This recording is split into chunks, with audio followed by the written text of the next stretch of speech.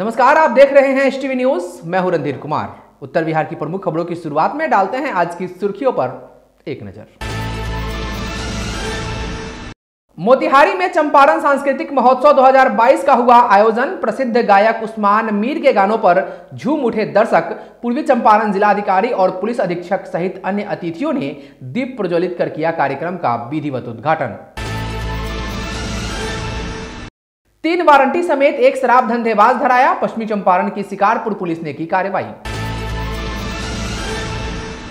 नरकटियागंज सहोदरा मुख्य मार्ग पर अलग अलग दुर्घटनाओं में चार लोग हुए घायल, एक की हुई मौत। पूर्वी चंपारण जिला अंतर्गत सुगौली प्रखंड के उत्तरी छपरा बहास पंचायत में धान के बोझा में लगी आग। फ़सल के मालिक ने बागीचा मालिक पर लगाया आग लगाने का आरोप। जाँच में जुटी पुलिस। पश्चिमी चंपारण की मझौलिया पुलिस ने की कार्रवाई दहेज अधिनियम के आरोपी सहित अन्य कांडों के चार अभियुक्तों को किया गिरफ़्तार, भेजा जेल। रक्सौल एसडीएम ऑफ़िस में अनुसूचित जाति, जनजाति अत्याचार निवारण अनुसरवन एवं सतर्कता समिति की एक बैठक हुई संपन्न। दिए गए कई ज़रूरी दिशा निर्देश। पूर्वी चंपारण की पचपकड़ी ओपी पुलिस ने बाइक के साथ एक शराब धंधेबाज को किया गिरफ़्तार। अग्रिम कार्रवाई करते हुए भेजा जेल। मोतिहारी के माउंट लिटरा जी स्कूल में इन्वेस्टिचर समारोह 2022 का हुआ आयोजन। सभी हाउस के कैप्टन का हुआ चयन। और मोतिहारी के एक होटल में Ajay pipes proud partners meet का हुआ आयोजन। भारी संख्या में रिटेलर्स है मौजूद।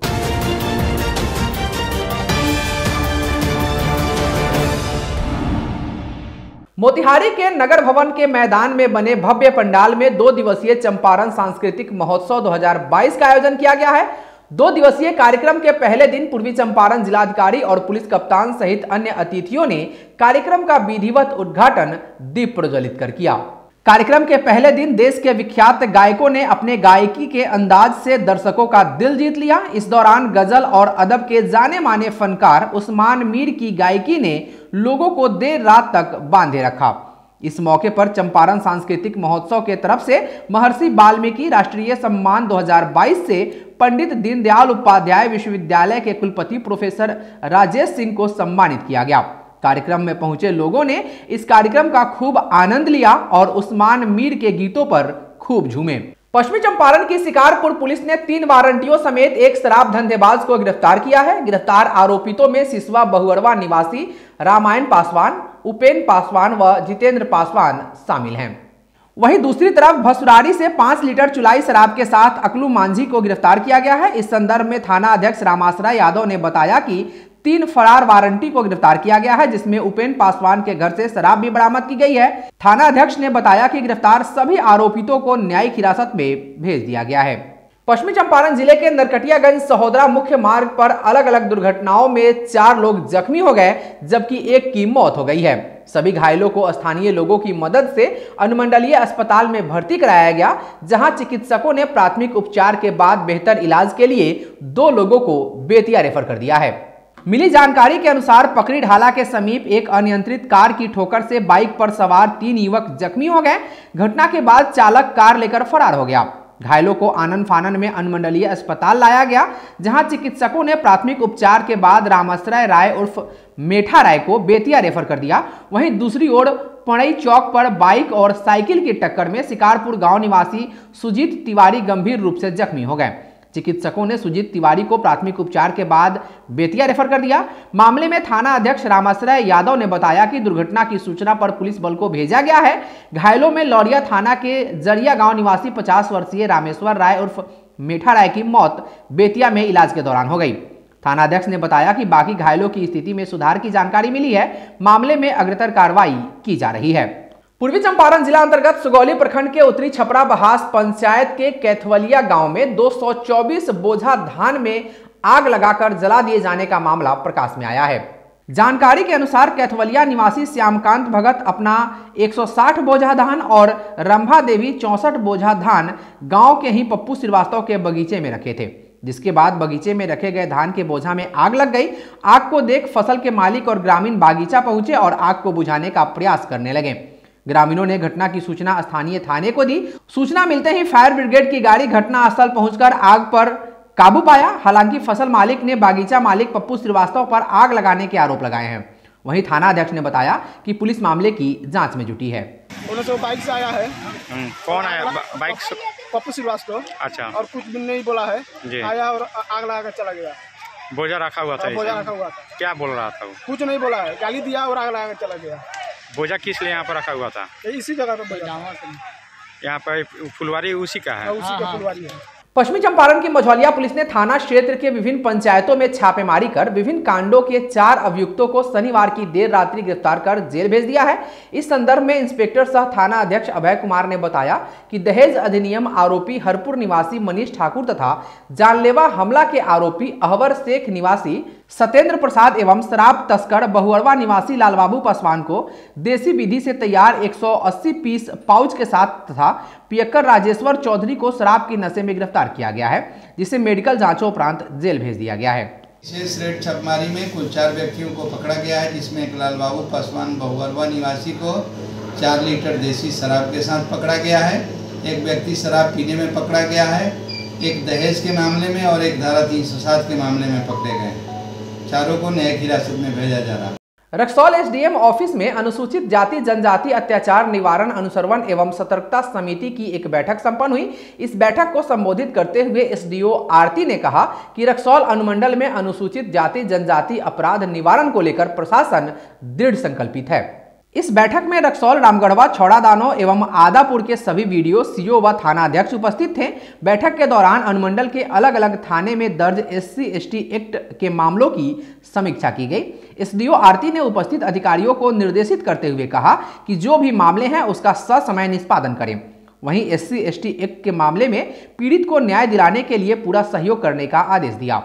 इस अवसर पर Raxaul BDO Sandeep Saurabh, Ramgarhwa BDO Mohammad Sajjad, Chhauradano BDO Neeraj Singh, CO Vijay Kumar, Raxaul थाना अध्यक्ष सह इंस्पेक्टर नीरज कुमार, हरैया थाना अध्यक्ष पंकज कुमार सहित अन्य अधिकारी मौजूद थे। पूर्वी चंपारण की पचपकड़ी ओपी पुलिस ने ओपी क्षेत्र के हीरापट्टी गाँव के नज़दीक से एक बाइक की डिग्गी में छुपाकर रखे गए 27 बोतल विदेशी शराब के साथ एक धंधेबाज को गिरफ़्तार किया है। गिरफ़्तार धंधेबाज की पहचान पूर्वी चंपारण के पचपकड़ी ओपी क्षेत्र के सुरपनिया गाँव निवासी उपेंद्र महतो के पुत्र मिथिलेश कुमार के रूप में की गई है। गौरतलब है कि मिथिलेश कुमार पूर्व से शराब सप्लायर का काम करता था। पचपकड़ी पुलिस बहुत दिनों से इसकी तलाश में जुटी थी। आखिरकार पुलिस ने जाल बिछाकर इसको अपनी गिरफ्त में कर ही लिया। वहीं शराब के साथ बाइक को जब्त कर लिया गया है। इस संदर्भ में पचपकड़ी ओपी अध्यक्ष अंजन कुमार ने जानकारी देते हुए बताया कि गिरफ़्तार व्यक्ति पर बिहार मद निषेध तथा उत्पाद अधिनियम के सभी सुसंगत धाराओं को दर्ज करते हुए न्यायिक हिरासत में भेज दिया गया है। मोतिहारी के ढाका रोड में भड़ौलिया स्थित माउंट लिट्रा जी स्कूल में इन्वेस्टिचर समारोह 2022-23 का आयोजन किया गया, जिसमें blue house, red house, green house, yellow house इन चारों हाउस के कैप्टन एवं वाइस कैप्टन को चुना गया, जिसमें ब्लू हाउस के captain Ankita Raj, vice captain Sahil को बनाया गया तथा इस हाउस का प्रभार मीनाक्षी बनर्जी तथा प्रवीण कुमार को सौंपा गया।